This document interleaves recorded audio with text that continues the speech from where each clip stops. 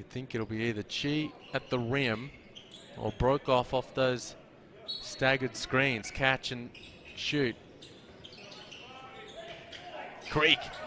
Qi. And the foul called on the Kings.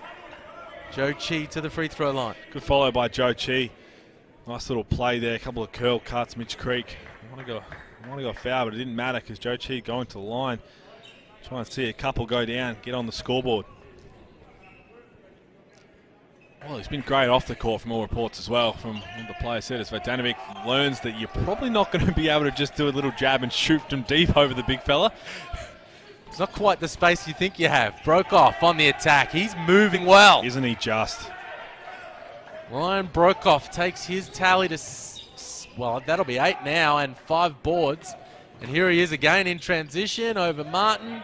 Can't finish. Oh, there it is. Zhou Qi can. There it is. That's we're going to see that a lot this season. Timeout Kings. Zhou Qi cleaning up the mess, but as you said, Ryan Broekhoff looking really good. And Vodanovich cashes in. Creek, Qi, bucket. An interesting pickup right now with no Mitch Creek to start this half, and you saw it with about four minutes to go in the second quarter. Came up hobbling a bit as Liafa comes up short, and there's Zhou Qi with the finish. There's going to be a lot of those. And he had a few words to say to the ref. Might have been an and one, but we're going to see a lot of that from Zhou Qi. But Mitch Creek not on the bench either, so came up with something. Uh, not not feeling too good, and no sign of where Mitch Creek is. There you go. So Te Rangi comes into the lineup. Angus Glover draws the offensive foul. Did he? On Zhou Qi, and there's a little bit of an exchange of words going on.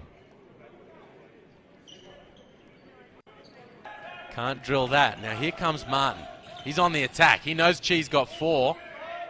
Puts him and the officials under pressure comes up short. Well done by Qi and Smith Milner the play before. Both Cooks and Martin went at them knowing they're on four fouls. They did well to wall up, and that's what you get. A little drop off by Foxwell.